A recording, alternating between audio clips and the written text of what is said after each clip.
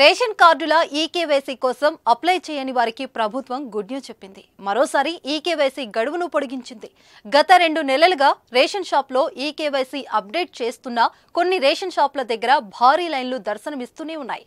దీంతో అప్డేట్ చేసుకోవడానికి రేషన్ కార్డుదారులు చాలా ఇబ్బంది పడుతున్నారు.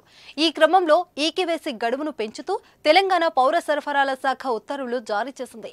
రేషన్ కార్డుల ఈకేవైసీకి గతంలో జనవరి ముప్పై ఒకటి తుది గడువని స్పష్టం చేయగా ఇప్పుడు కొత్త తేదీని ప్రకటించింది. ఫిబ్రవరి ఇరవై తొమ్మిది తేదీ వరకు ఈకేవైసీ చేసుకోవచ్చని పేర్కొంది. గజం కేవలం నాలుగు వేల ఐదు వందల రూపాయలతో నూట అరవై ఐదు గజాల భూమి కేవలం ఎనిమిది లక్షలు మాత్రమే. బోగస్ రేషన్ కార్డులు తొలగించాలనే ఉద్దేశంతో గత బీఆర్ఎస్ ప్రభుత్వం రేషన్ ఈకేవైసీని కార్యక్రమాన్ని చేపట్టింది. గత తొమ్మిదేళ్ళలో ఎంతో మంది చనిపోగా మరికొందరు పెళ్ళిళ్ళు చేసుకుని అత్తారింటికి వెళ్ళిపోయారు ఈ నేపథ్యంలో రేషన్ బియ్యం పక్కదారి పట్టకుండా ఈకేవైసీ చేపట్టింది. ప్రస్తుతం రేషన్ కార్డుల్లో పేరున్న వారంతా వేలుముద్రలు వెయ్యాలని స్పష్టం చేసింది. రెండు నెలలుగా ఈ ప్రక్రియ కొనసాగుతుంది. రేషన్ దుకాణాలకు వెళ్ళి ఈకేవైసీ చేసుకుంటున్నారు. ఇక ఈకేవైసీ కోసం ఆధార్ ధృవీకరణ వేలుముద్రలు ఐరిష్ వంటి గుర్తింపులు తీసుకుంటున్నారు. రేషన్ కార్డును ఆధార్ నెంబర్తో లింకు చేయడానికి మీ రేషన్ కార్డులున్న సభ్యులందరి ఆధార్ నెంబరు ఇవ్వాల్సి ఉంటుంది. వాటి ఆధారంగా ఈకేవైసీని పూర్తి చేశారు. ఇప్పటికే పలుమార్లు గడువు పొడిగించారు.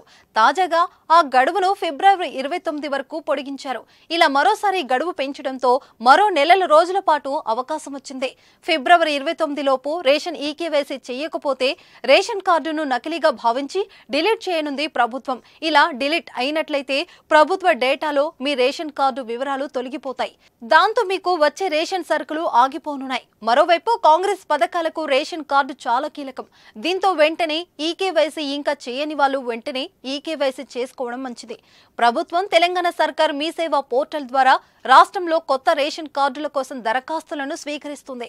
దరఖాస్తుదారులు తమ దరఖాస్తులను ఫిబ్రవరి చివరిలోపు సమర్పించవచ్చు.